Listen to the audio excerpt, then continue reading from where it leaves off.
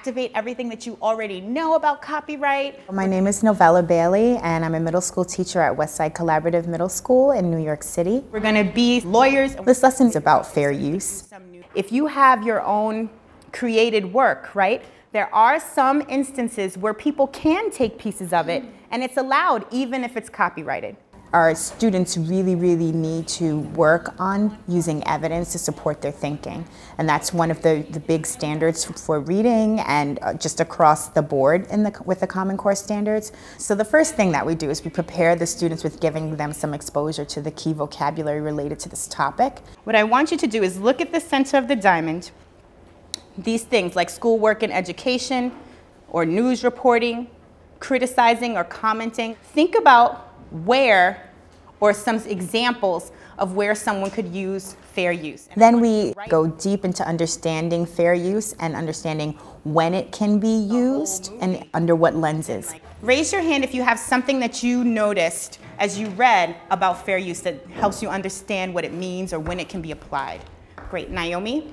Uh, that you can only um, use it if it's a small amount for schoolwork and education, news reporting.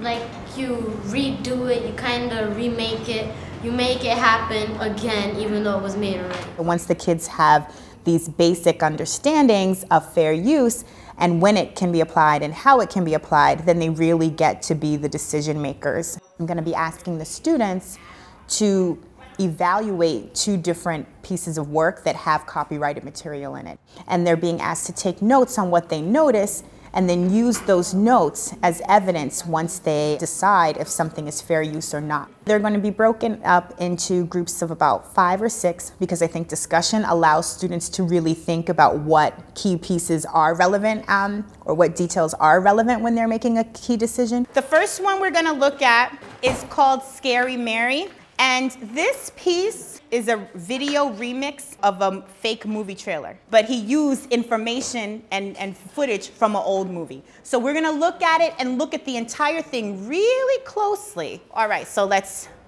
get it going. So we can't show you these clips because there are issues with it being fair use, even though this is an educational video.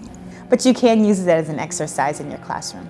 All right. So what I would like for you to do is discuss with your group what you noticed that was happening, make a decision, and then write down your evidence. Go, discuss in your groups. Some parts of clips from like another movie that was like, them were in oh like Is that count as making it new? Or is it still too much content? It's still too much content. Yeah. You guys discuss, discuss. You guys, what did you guys agree? Yes or no? All right. Let's get yourselves ready. We're going to share. Dasbury? Well, we picked yes because they did make it into a parody, but we got stuck a little bit because at first we thought they used too much of the movie mm-hmm. and just like twitched it up a little bit. Go ahead, Jackson. And if it it would actually be illegal to put on the internet if it was if it wasn't you know copyrighted. The end of the video it said it was edited, Mm-hmm. And it says Mary Poppins uh, in quotes at the top. Wonderful. I'm, I what I'm really noticing that I want you to continue for the next one is the use of evidence to support your thinking. This is what is called a mashup, I believe. Yeah. Where, and, you, and how many people have heard of DJ Earworm already? Oh my goodness. So he has fans here already. Great. Let's take a look. Alrighty. This is what we need to do. You have to either decide, maybe you are, you know, Beyonce's lawyer, or maybe you're DJ Earworm's lawyer. Is it fair use? Isn't it fair use? One thing that we did learn is that if it's you can't use long, long clips from a video. Think about it. If he would have gotten in trouble for doing that, then all the DJs would get in trouble. He didn't show that it was edited or anything. But the only good part, like the 70% like CC said, mm -hmm. is that it only contains short clips from the music video. So what did you guys come up with? And what's your evidence to support your opinion? He didn't really use it in his own words. He copied it from other music videos. Mm-hmm. But he only, but the good thing was he only used parts of the song. I do agree with Alex that it was fair use because even though he didn't really have anything original in there, it was still used as fair use. He wasn't trying to make money off of it. I actually had no idea that I was against the law.